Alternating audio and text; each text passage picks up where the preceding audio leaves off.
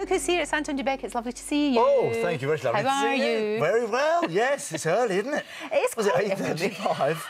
Well, you are a bit of a night owl because well, you're you're working right now, aren't you? yes, on tour. Yeah. Yeah, it's brilliant. We opened on Thursday. Right. Last last Thursday, and your your your day completely shifts. Of course. You you know you finish a show and then you either go into your next venue or you're just you know you go to bed late and then you get up a bit later the following day. So you, all your time shift around. So Yeah. eight thirty-five is, you know.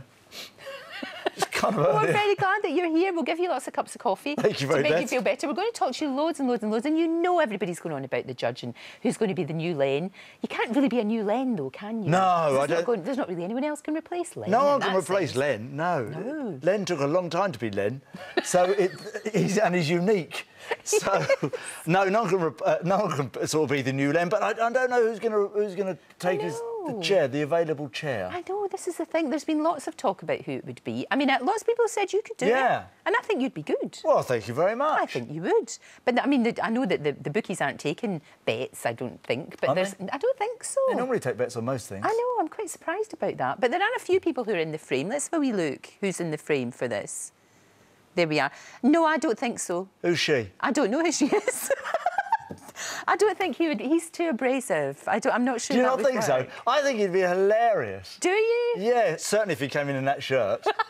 What about Karen? You know Karen Hardy. We like Yeah. her. She'd be good actually.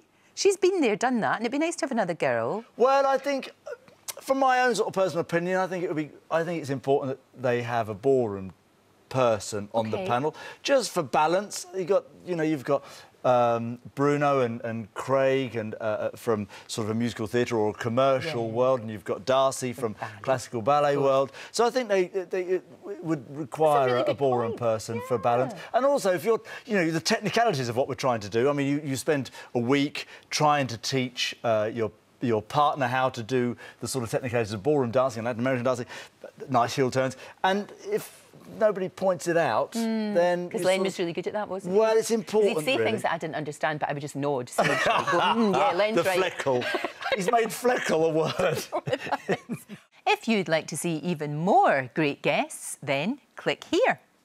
There are plenty more fantastic interviews to come, so make sure that you subscribe.